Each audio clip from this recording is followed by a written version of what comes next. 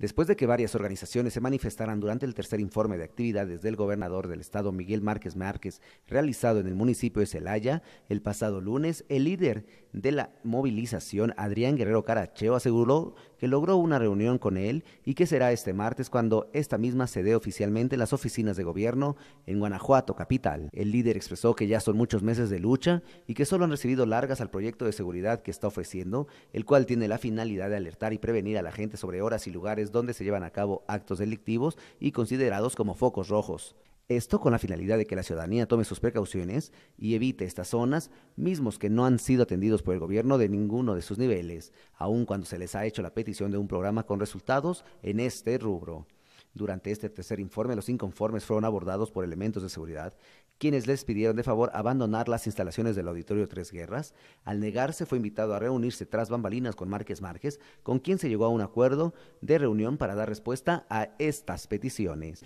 Lógicamente que al gobierno no le gustó lo que hicimos y fueron a casi exigirnos que, hiciéramos una nuestra manifestación, que quitáramos las mantas, las cartulinas,